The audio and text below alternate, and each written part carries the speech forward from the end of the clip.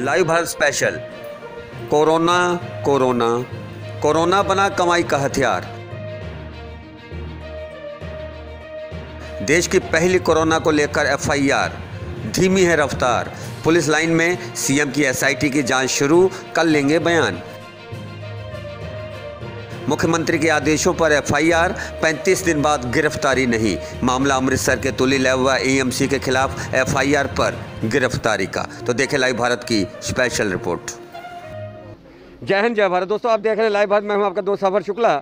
Live Bharat ने किया था खुलासा तुली लैब का सबसे पहले। लाइव भारत ने किया था खुलासा तुली लैब का और ये खुलासा किया था राजकुमार खुल्लर ने, रानी का बाग रहने वाले रानी के बाग के राजकुमार खुल्लर ने किया था पहली बार तुली लैब का खुलासा। उसके बाद में चपेटे में आई ईएमसी उसके बाद में विजिलेंस की जाँच हुई एफआईआर हुई। उसके बाद में कैप्टन अमरिंदर सिंह ने बिठा दी जाँच और उस जाँच में अब जाँच में अब लिए जा रहे हैं बयान। तो आज फ़िलहाल बयान लिए नहीं गए हैं, मौखिक तौर पर बयान लिए गए हैं। सच से इनसे कहा गया, कल पाँच बजे आना। और आज यहाँ पे पहुँचे पुलिस कमिश्नर, यहाँ के डॉक्टर सुखचैन सिंह गिल और civil surgeon doctor Navdeep Singh. तो हम राजकुमार खुल्लर जी से जानेंगे।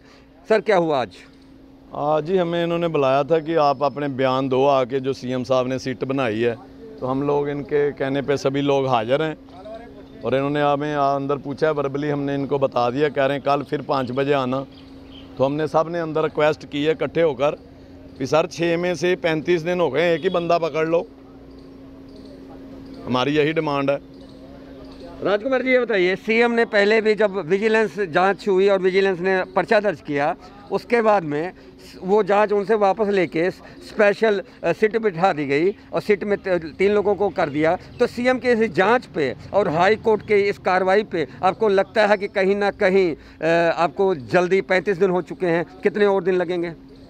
देखो जी, हमें सीएम साहब और ये जो इनका टेक्निकल पॉइंट था ना सीएम साहब का, कि कुछ हम विजिलेंस का जो इन्होंने अगेंस्ट रिट डाल दी थी तुली लैब वालों ने, वो कहीं हद तक हो सकता है, क्योंकि ये ला ज़्यादा जानते हैं, वो ठीक था। लेकिन हमें ये समझ नहीं लग रही कि ये पैंतीस दिन से इतनी डिले क्यों है? किस बात की रिलीफ है? जब इन्होंने किसी कोर्ट ने इनको कोई रिलीफ नहीं दी, अमृतसर सेशन कोर्ट सा, दालीवाल जी ने इनकी डिसमिस कर दी, और आज तक ये खुलेआम घूम रहे हैं ये लोग।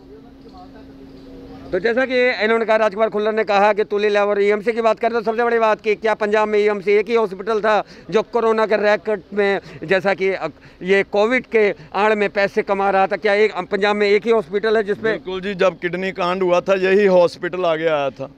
और भी हॉस्पिटल नहीं है अमृतसर की बात करें या कहीं और की बात करें पूरे पंजाब की बात कर रहे हैं उनको लेकिन इनका तुली लैब और इसका पूरा सांठ गांठ थी जैसे किसी एक से जारी दोस्ती होती है इनकी पूरी सांठ गांठ थी।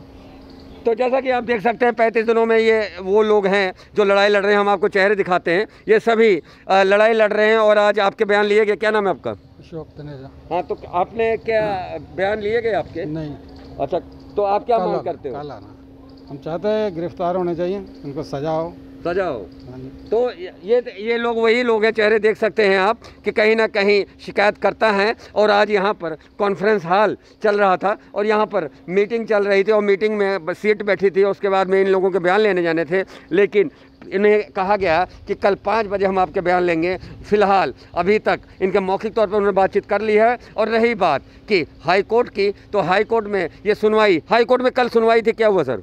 वहाँ जी दोनों वकीलों, दोनों पक्ष की तरफ़ से काफ़ी बहस हुई है और उन्होंने जो अपने मानयोग एच एस मदान साहब, जज साहब थे, उन्होंने इनको कोई रिलीफ नहीं दी, किसी तरह का कोई बेनिफिट नहीं दिया। उन्होंने अपने सीपी साहब से फ़ाइल मंगवाई है कि इनके अगेंस्ट हमने क्या क्या इन्वेस्टिगेशन के लिए हमें इनकी कस्टडी काहे के लिए चाहिए क्या क्या आपको ज़रूरत है, वो आप फ़ाइल मेरे पास भेजिए। और इकतीस जुलाई पड़ी है डेट। अब सीपी साहब सब कुछ बनाकर भेज अच्छा शहर में सर चर्चा है शहर में चर्चा है कि इकतीस जुलाई को जो डेट पड़ी है हाई कोर्ट ये आदेश दे सकती है कि अरेस्ट स्टे और जाके आप सिट के सामने पेश हो। ये ये स्क्रिप्ट कैप्टन दरबार में तैयार करके अमृतसर से भेजी गई थी और एक दो मंत्री और कुछ एमएलए हैं जिन्होंने स्क्रिप्ट तैयार की थी कि सीएम साहब हम आपके पास मामला भेजेंगे आप ऐसा करवा देना। उसके बाद में फिर अब वो सिट में तो ऐसा हो सकता है क्या? देखो मुझे तो पूरा अपने और अपनी न्याय प्रणाली पर अपने केस पे और सीपी साहब पे भरोसा है कि डेफिनेटली ये यदि यहाँ से ऐसी फ़ाइल बनाकर भेजेंगे इनके द्वारा बनाई जाएगी तो जज साहब उसको डिनाई नहीं करेंगे। डेफिनेटली मैं तो कहता हूँ इनकी बेल्स डिसमिस होंगी। अच्छा ये बताइए बेल डिसमिस हो ये तो अदालत का फैसला है लेकिन आप ये बताइए पैंतीस दिन गुजर जाने के बाद और इतना हाई प्रोफ़ाइल मामला कि सीएम जाँच के आदेश देते हों फिल फ़िलहाल गिरफ्तारी ना हो वजह? ये तो जी, जो अपने लोकल पॉलिटिकल मिनिस्टर या कुछ हैं ना एम वो इनके पीछे हैं। और आपको पता है भी, जहाँ कहीं भी किसी अफसर ने लगना हो, पे इनकी पीछे बैग चाहिए। तो इसलिए हमें लगता है भी कोई गड़बड़ है। इसलिए ये मतलब हमारा ये जो बात नहीं सुनी जा रही, जो गिरफ्तारी नहीं हो रही। कुल मिला के लाइव भारत के कैमरे पे थे राजकुमार खुलर और सबसे बड़ी बात कि लाइव भारत ने किया था खुलासा, तुली लैब का सबसे पहले। और लाइव भारत के खुलासे के बाद में मीडिया ने इस मामले को उठाया और बात पहुँची सीएम तक। सीएम दरबार से जाँच के आदेश के लिए यहाँ पर बैठक बुला दी गई और बैठक में इन लोगों के बयान लिए जाने थे, लेकिन सिट ने कह दिया कल पाँच बजे। फ़िलहाल इसी मामले में हम आपको जय हो क्लब के जो अध्यक्ष हैं, विकी दत्ता, उनसे भी हम उनकी स्टेटमेंट जानेंगे कि वो भी इस मामले में शिकायत करता है, क्या कहते हैं वो। आखिर अब देखते रहे लाइव भारत। तो ये जो आप प्रतिमा देख रहे हैं, लोह पुरुष सरदार वल्लभ भाई पटेल जी की है, और इस प्रतिमा से और जो केस मैं बताऊँगा, उससे बहुत गहरा नाता है। और गहरा नाता ये है कि लोह पुरुष सरदार वल्लभ भाई पटेल देश के आदर्श हैं, और इकतीस तारीख अक्टूबर इनका जन्म था, और इकतीस तारीख से मामला जुड़ा है, क्योंकि इकतीस जुलाई को आ रहा है बड़ा फैसला, वो बड़ा फैसला है अमृतसर के तुलीला और ई के खिलाफ हाईकोर्ट में चलने वाली याचिका को लेकर, लेकिन अभी तक कैप्टन अमरिंदर सिंह ने जो सीट बिठाई है, उसमें आज जो जिन लोगों ने शिकायत की थी, उनके साथ आज उनकी, उनके मौखिक बयान लिए गए फ़िलहाल, लिखित बयान अभी नहीं लिए गए हैं तो हमारे साथ हैं जय हो क्लब के अध्यक्ष विक्की दत्ता जी। और विक्की दत्ता जी ऐसे शख्स हैं जिन्होंने अपने जय हो क्लब के लिए एक ऐसी संस्था बनाकर लोगों के लिए कामकाज, लोगों के काम आए और लोगों को राशन बांटा और सब बीमारी से निजात दिलाने के लिए लगे रहे। लेकिन सबसे बड़ी बात है कि कोरोना के मामले में जहाँ पंजाब नहीं, पूरे देश में यह पहला मामला है जिसमें कोई लैब सील की गई हो और किसी नर्सिंग होम के, यानी कि किसी हॉस्पिटल के खिलाफ मामला दर्ज किया गया हो यह देश का पहला मामला है। और अमृतसर की बात करें तो अमृतसर में कोरोना के आज सबसे ज़्यादा जो आज केस आए हैं, और गिनती हो गई है सोलह और हम आपको बता दें, आज बहत्तर केस आए हैं तो कोरोना से जुड़ी एक खबर है। सर, पैंतीस दिन हो गए, जिन लोगों के खिलाफ मामला दर्ज किया गया, गिरफ्तारी कोई नहीं, कोरोना से जुड़ा मामला है, किस बात को रोना, पैंतीस दिन के बाद गिरफ्तारी नहीं? जी, मैं तो पहले दिन से शोर मचा रहा हूँ कि इन लोगों की गिरफ्तारी क्यों नहीं हो रही, क्योंकि पहले जो विजिलेंस ने इंक्वायरी की जब वो इंक्वायरी के पास पहुँचने वाले थे तो इंक्वायरी को चेंज करके सीट बिठा दी गई। तो अभी ये लोग जो अपनी कार्रवाई कर रहे हैं, इनको ए से शुरू होना पड़ेगा और फिर जेड तक पहुँचेंगे। तो मेरा पहले दिन से यही था कि इन लोगों को जो पहले चल रही थी इंक्वायरी सही चल रही थी, अभी अगर दोबारा की है तो इनको गिरफ़्तार क्यों नहीं किया जा रहा? यही तो हम बात बोल रहे हैं। हम सभी जो पीड़ित परिवार, दस लोग आए हैं, हम दस लोगों ने यही बात बोली है कमिश्नर साहब को कि किसी एक को गिरफ़्तार कर लो, कि हमारे ऊपर भी बड़ा प्रेशर बना रहे हैं लोग। कि इसको कंप्रोमाइज़ करो। लेकिन मैं आपके माध्यम से बता देना चाहता हूँ कि हम कंप्रोमाइज़ बिल्कुल नहीं करेंगे। ये मेरा पारिवारिक मामला नहीं है। मेरे परिवार के साथ जो होना था, हो गया। ये लोगों से जुड़ा मामला है। तो जो जो लोगों से जुड़े मामले होते हैं, उनमें समझौता नहीं होता। तो इसके लिए मैं आपके माध्यम से बता देना चाहता हूँ कि हम आखिर तक समझौता नहीं करेंगे। दूसरी बात, हमारी एक ही मांग है कि इनको जल्द से जल्द चाहे किसी एक को गिरफ़्तार किया जाए, क्योंकि सेशन कोर्ट में भी इन तीन लोगों की जमानतें रिजेक्ट हो गई थी। और दो लोग, डॉक्टर रोबिन तुल्ली और डॉक्टर महिंदर पाल, जिनकी जमानतें सोमवार को हाई कोर्ट में लगी थी। तो जो इतने बड़े बड़े वकील उन्होंने खड़े किए हुए हैं, उनके सामने हमारे वकीलों ने जब बहस की, उसकी इकतीस तारीख जो डल गई है तो उसके लिए पुलिस को भी रिकॉर्ड भेजने के लिए बोला है।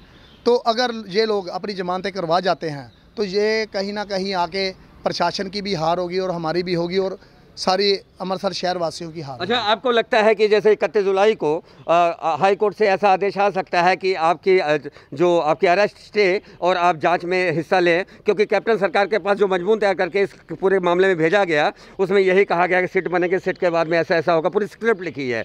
और स्क्रिप्ट लिखवाने के पीछे एक मंत्री का और दो तीन एम का भी हाथ है। फ़िलहाल आपको लगता है कि ईएमसी के खिलाफ ईएमसी ग्रुप के खिलाफ, इस लड़ाई में, उनको हवा देने में, एक निजी हॉस्पिटल का भी हाथ है?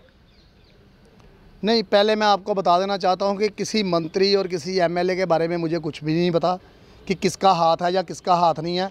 मेरा सीधा सा मसला है कि इन लोगों को गिरफ़्तार किया जाए। ये लोगों ने, इन लोगों ने शहर वासियों के साथ जो किया है, वो छोड़ने लायक बात नहीं है। इतनी बड़ी महामारी में ये लोग लोगों को लूट रहे हैं नेगेटिव लोगों को कोरोना वार्ड में रख के उनको मारने की नीयत के साथ पॉजिटिव किया जा रहा है।